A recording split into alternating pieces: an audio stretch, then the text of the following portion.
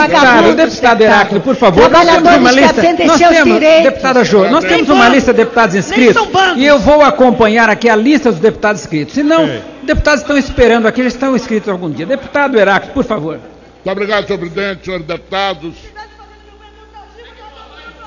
Tem que botar mesmo, é o jeito. Não tem jeito. Não querem fazer direito. Esta presidência informa que há um deputado não na tribuna e nós exigimos que Vossas Excelências o ouçam, por favor.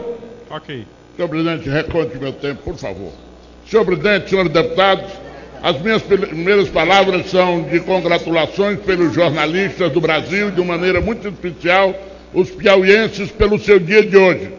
Quero me congratular com o jornalismo piauiense na pessoa do jornalista Dioclésio Dantas. E o segundo assunto que me traz aqui. Finalmente tem uma notícia boa. Jornais do Piauí de antes de ontem trazem uma notícia muito boa para o Piauí e para o Nordeste. Processo do pré-sal será votado em abril. É uma matéria que diz o seguinte: a ministra Carmen Lúcia do Supremo Tribunal Federal telefonou para o governador Wellington Dias, informando que já tem o voto da ação que tramita no Supremo sobre a divisão dos royalties do pré-sal entre estados e municípios. A votação do projeto deverá ocorrer em abril, declarou Wellington, que combinou com a ministra uma audiência entre ela e o presidente do Supremo, Ricardo Lewandowski, para tratar da votação do projeto da divisão do royalties do pré-sal. A matéria é extensa e eu vou apenas resumir, mas é muita alviçareira. Eu quero agradecer aqui de coração a ministra Carmen Lúcia por ter tido a gentileza de antecipar uma decisão para o governador do Piauí. Não é muito usual da justiça isso, mas para o bem do Piauí tudo vale, senhor presidente e senhores ministros.